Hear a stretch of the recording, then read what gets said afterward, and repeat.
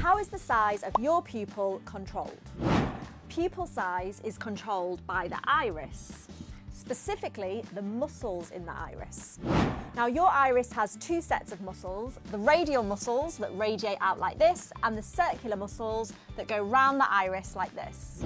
Now when moving from dim light into bright light, the circular muscles contract, whereas the radial muscles relax.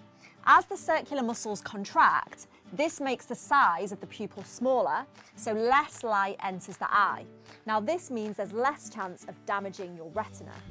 When moving from bright light into dim light, the opposite happens. So the circular muscles will relax, the radial muscles contract, and this makes the size of the pupil larger so that more light enters and hits the retina, helping you to see in lower light intensities.